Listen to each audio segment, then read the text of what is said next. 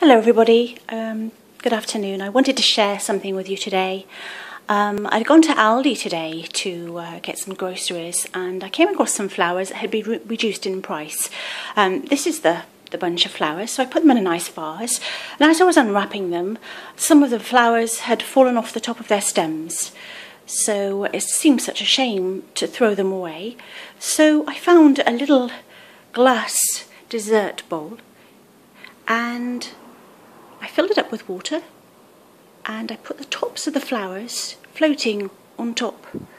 And I just thought it just looks so beautiful for a little table somewhere or console table.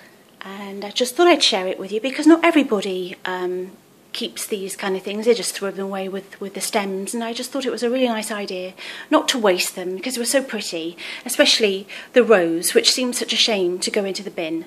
So I thought I'd share this with you and thank you very much for watching. Uh, my name is Julie and I'll see you soon.